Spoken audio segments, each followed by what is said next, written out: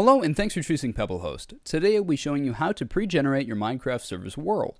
Pre-generating chunks is a very useful technique for servers to help reduce the server's load in the future.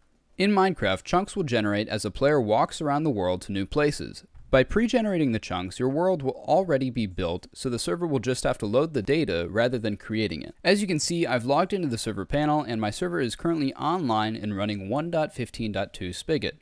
I'm going to first connect to my server using an FTP client. So I'll go to the FTP file access settings, and I'm going to copy these details into an FTP client such as FileZilla or WinSCP. As you can see, I'm now connected to my server using an FTP client. I'm using FileZilla, and I'm going to actually minimize this for now, and let's bring back the server panel and stop our server. Uh, this is because we need to first install the plugin in order to pre-generate the chunks. We're going to be using World Border to pre-generate these chunks. We'll have the plugin download in the description of this video, so what you can do is click download now.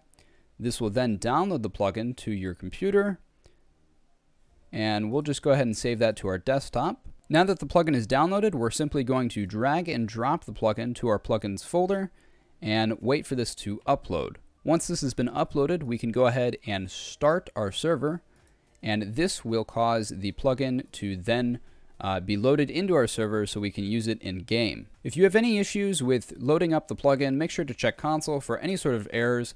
Now that the server is started, we're actually going to join the server in game. So I'm going to get the server IP from the main panel page. All I'm going to do is copy the IP address and then paste it in game.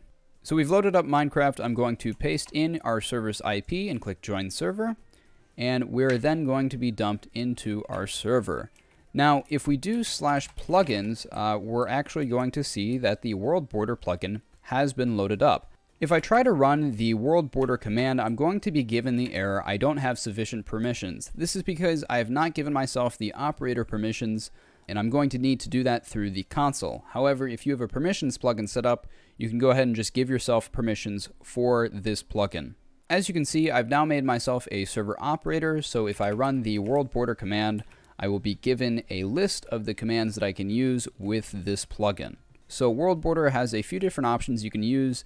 Um, however, the main one we're going to be looking at is WB, which stands for world border, set, and now we need to enter in a radius. So we're going to need to enter in a x and a z um, for the radius. This is how big the world border is going to be, as well as how big it will generate all of the chunks that are within that border.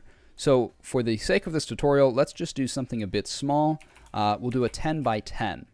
As you can see, the world border has now been set to the radius of 10 at the x coordinate uh, negative 92.1 and then the z coordinate of 318.5. So if we kind of fly around this way, we are going to be bounced back and given a message with some particle effects saying we've reached the edge of this world. If we try to go this way, we're going to be given the same message. Same if we go behind us and this way as well. So this entire radius here is now the only area we can explore in this world. If we want to make the radius a bit bigger, we can run the exact same command, however, just specify a larger radius. So let's do a 50 by 50, and now the world border has been updated to that 50 radius. So if we fly this way, we are given a much bigger radius in which we can explore. We're going to update our world border radius to a thousand by a thousand. Now the bigger the world radius, the more time it's going to take to fill that radius and generate those chunks in order to do that, we can do wb fill. And if we run this command, it's going to ask us if we are positive that we want to run this command. Whenever we run this command, it's going to give us some information and ask us to confirm. So essentially what it's saying is it's going to process up to 20 chunks per second, and the map will be padded out to 208 blocks beyond the world border. So in order to continue this process, we'll need to do wb fill confirm. It's also given us two other commands that we can use to cancel or to pause the current uh, loading of the chunks. So if we confirm this, it's going to then uh, start that world map generation task.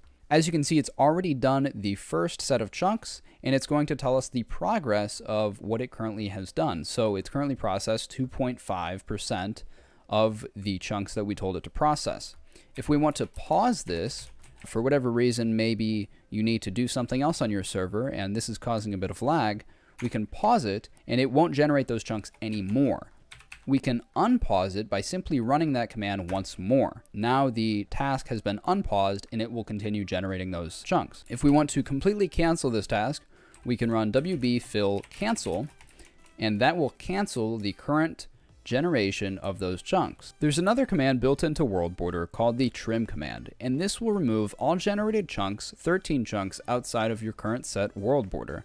If we go ahead and run this command, it's going to ask us to confirm once again, and then it's going to trim the chunks, 13 chunks, outside of the current world border.